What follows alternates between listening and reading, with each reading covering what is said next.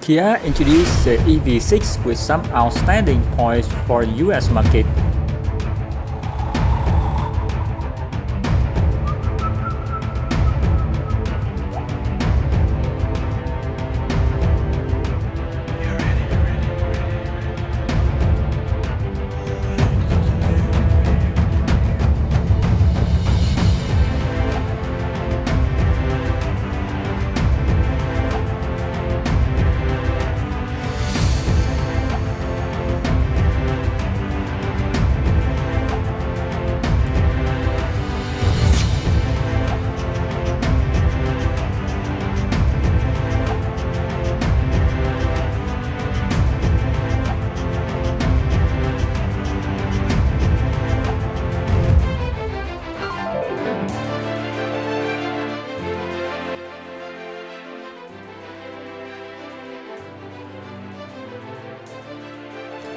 The first point is the maximum estimated range of around 300 miles.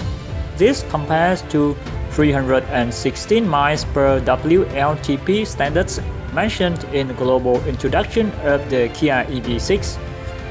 In addition, the Kia doesn't mention the EPA rating, so an official figure is still the same. Regarding the power, the range-topping GT will use dual motors producing 576 horsepower or 430 kilowatts driving on four wheels.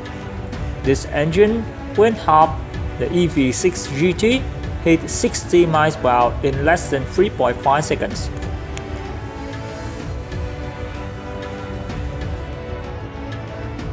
I hope you could find something interesting when watching the video. Thanks again for watching.